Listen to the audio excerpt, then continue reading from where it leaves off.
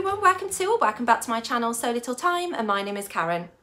So I hope you're all doing really well. I just really wanted to come on today to have a quick chat with you all, to give you an update of where I'm at with my sewing and also just to touch base with regards to the Stitch Festival that's taking place in London this weekend. And I also have sat beside me a really exciting box of goodies that I really want to share with you all.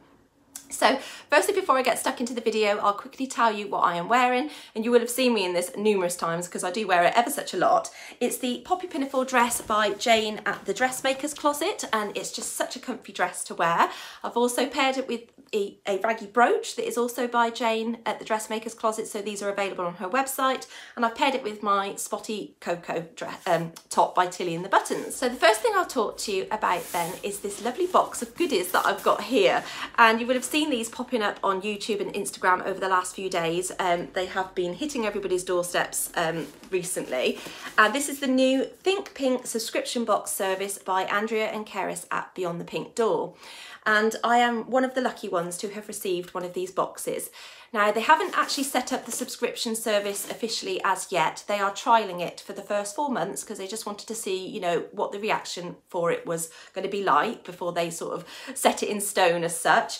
And there were only 50 boxes available for the month of March. So they were on a first come, first served basis and she Andrea does a live on um, YouTube every Sunday at seven o'clock UK time and during one of her live sessions she was speaking about bringing out these boxes and she also asked for um, suggestions of the name for it.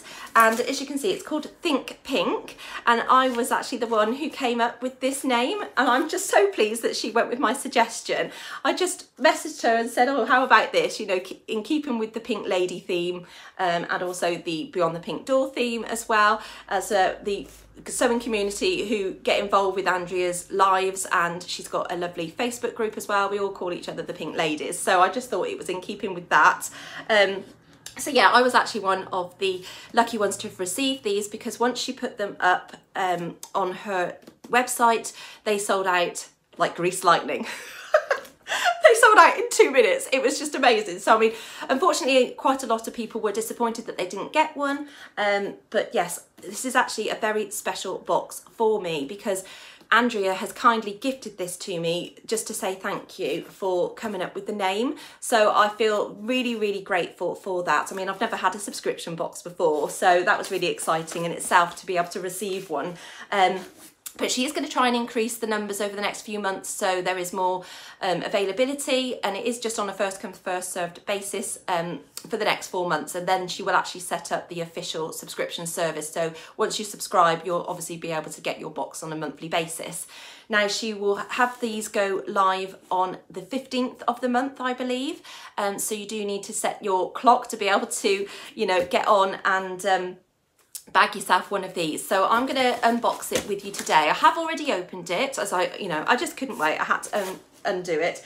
Um, but it comes in this lovely white box and it came in a lovely pink bag and then it had this lovely sticker on it, which as you can see I've opened. So inside you get um, a letter just telling you about the um, the box itself and then you've got this QR code. So you can scan that with your phone um, and it takes you to a video which Andrea has uploaded onto YouTube and it's tells she speaks to you all about the fabric that is included in the box um, and also gives you tips and hints on how to care for it and use it um, and that kind of thing. So yeah this is how it looks inside then in this lovely pink wrapping paper. So I'm just going to rustle a little bit uh, just to open it up so inside, the first thing I came across was this card, um, which says Think Pink subscription box on the front of it and number one. So this is obviously the first box. And then when I turned it round, it's got um, the Pink Ladies Pledge on the back. So I'm going to read this to you. The Pink Ladies Pledge to act cool, to look cool and to be cool, to death do us part, think pink. And I just, when I took that out of the box. I just laughed out loud because it really did take me back to when I was at school and me and my best friend, you know, we've I've always been grease mad and we used to dress up like the pink ladies with a pink jacket on and have these paper cigarettes rolled up in our mouth, um, you know, thinking we were so cool. it just reminds me of when we used to chant that in the playground. Um, so I just absolutely loved that, Andrea. I just loved it.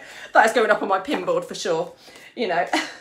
and then inside the box we have here um, some lovely woven interfacing, which is really nice to have and it's really nice and soft as well. So that's going to be perfect for um, doing facings, lining pockets and that kind of thing, you know, just to ensure that nothing stretches out. And then inside you've got um, some thread and I had a pink one with mine.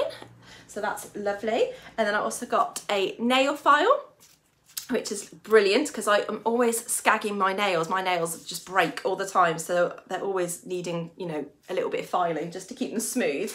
And then inside this little package here, we have some lovely, um, I think it's hand solve, um, which you can also use on your lips as well. And this is by, um, I think it's the Dolly tub. So I will link um, her Instagram actually down below.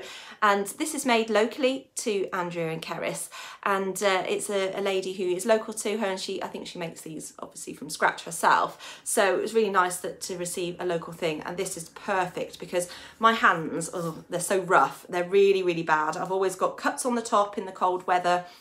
And because we're a family five and we don't have a dishwasher, I'm always washing up. So my hands are always in and out of water and during the winter months my hands do not look the best. So I'm really excited to um, use that. And it smells oh, absolutely divine.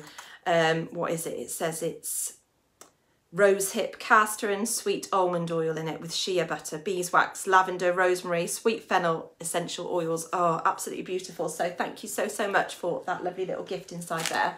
So onto the exciting bit then. It's this gorgeous viscose fabric. Look at that absolutely stunning. Really really gorgeous I mean, I have no idea what I'm going to make with it yet, but we've got two and a half meters, so a real generous amount there. And I think I will turn it into a dress for sure. It's got gorgeous drape to it. It's really nice weight as well, so I'm hoping it will be fairly easy to work with. If not, my can of spray starch will be coming out to help me. Um, but I'm really looking forward to getting that sewn up into something for the summer months. So I'll just bring it in a little bit closer for you so you can see the colours but that's absolutely beautiful. And it's got a lovely paisley design on it. It reminds me actually of um when you put paint into something and give it a swirl around something that the kids do um, but I'm definitely going to turn that into a floaty dress, you know, maybe something with some nice tiers on it. I don't think I'll do the wilder gown because um, I've already made that recently and I'd like to try out a different pattern, so I'm not really sure yet. I'll have a look through my pattern stash as I do have enough.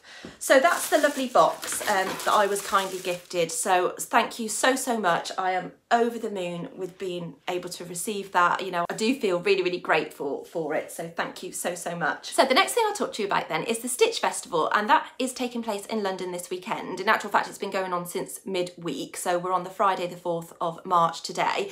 And I was contacted a little while ago by Laura at Sew Different Patterns as I made the long line jacket that she designed.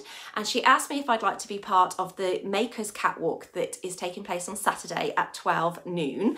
So obviously I've said yes, and I'm going to London tomorrow um, with my friend Sarah, who is Get Thready on Instagram. Um, she lives around the corner from me and we met through our hairdresser and it just so happened that we both like dressmaking. So she's coming along with me this weekend and we are meeting up with Angela from Devon Threadtails, Adele from Button and Pip and Anna from You Got Me in Stitches. So I'm so excited. And also it's going to be the first time that I'm attending any type of show like this as well. So all the first for me this weekend. Um, so I'm going to be showcasing my long line jacket then from Sew Different Patterns and I'll show it you here. I've got it on the hanger paired with what I'm wearing with it. So this is my beautiful jacket in this jacquard fabric which was gifted to me from um, Julia at Bobbins and Buttons as I did a blog post for her earlier last year. Absolutely love this jacket. It's just such a straightforward sew. It was really enjoyable to sew and um, it's just got some really nice lines to it, you know, and the fabric, I think it was just really designed to be paired with it. I just absolutely love it. So I'm going to be wearing it with um, my Millie denim pinafore dress that is also by Julia at Bobbins and Buttons and I'm just going to be wearing it with a plain Coco top which I made years ago. I haven't even finished it with the overlocker, it was before I had my overlocker. Um, so I'm just keeping it really simple so I'm going to be wearing that when I go on the catwalk. I'm don't think I'll wear my jacket actually to the show. I'll probably put it in a bag because I don't want to skag it or anything like that. Um, yeah, but I'm so excited to get on that catwalk. I mean, I'm really nervous as well, don't get me wrong, because um, I'm not really sure how big or small it's going to be and how many people are going to be watching. But my dad's um, kindly driving me, my mum and Sarah um, this weekend to London so he is hoping to get some footage of me. So I really hope to do a video all about the Stitch Festival and hopefully have me actually you know on the catwalk so you can see. But yeah I absolutely love this jacket and I'm really excited to share it with the audience. And I'm just delighted that I was asked as well. So it's going to be lovely to see whoever else is going to be you know strutting their stuff on the catwalk and what they're going to be sharing. So yes that's that. Um and then with regards to my sewing then, obviously if you've watched my February plans, you'll know that I had about five or six things planned to sew in February. I've had a fairly productive month we did have um, half term, so there was a week where I didn't actually do any sewing because I had the children at home and we were really busy. Went to Gloucester to see a friend and, and saw some family, and then um, it was my twins' sixth birthday, so I was cake making. Actually, I'll insert a couple of pictures of the cakes that I made. So James um, asked for a rocket cake, and Thomas asked for a dinosaur cake. And it probably would have been easier if I'd have just gone out and bought them, but no, I do like to have a go at making my own, and uh, they were really happy with them as well. So yeah, and they had a lovely craft party, which we actually did some um, Decopatch, and I've never done that before. It was actually harder than I thought, but I bought some letters for all the children, so the initial of their first name, and then I bought the papers and ripped them all up and everybody glued them on, and uh, we just had a nice crafting session for their birthday, so that was really, really nice, and I'll insert a photo of the, uh, the letters. So yes, anyway, I digress. With regards to the sewing then, I've had a fairly productive month. So I haven't finished everything as yet. So I've decided I'm not going to do a February makes video. I'm going to do like a February and March makes video because I'm taking part in the Sew Frugal 22 challenge. So I've got a couple of things that I want to make for that. So I just thought I may as well just all include them in one video at the end of March. So I have nearly finished one and I'm planning on wearing um, this tomorrow. So this is one of my February um, plans that I told you about and it's the Fraser cardigan by Love Notions and I've actually used this gorgeous French terry fabric which I won from Tabitha's house. Now the only problem with this is obviously it's got a white background and if I'd have thought about it I should have lined the hood but I've just got to finish this off so I'm last minute sewing to get this done so I can wear this over my pinafore dress whilst I'm walking around tomorrow. Um, so I've just got to put the cuffs on, I think. So on the sleeves, yeah, I just need to put the cuffs on there. But I'm really pleased with how this has turned out. Um, I just wish I'd have lined the hood really, but do you know what? I wouldn't have been able to have done it thinking back. I didn't have enough fabric. I literally just about squeezed this out of two meters. So if you are planning on making the Fraser cardigan by Love Notions, I suggest getting two and a half meters at least because I had to piece together the insi inside of the um, the band that goes all the way around the cardigan. So yes, that's um, that was quite interesting.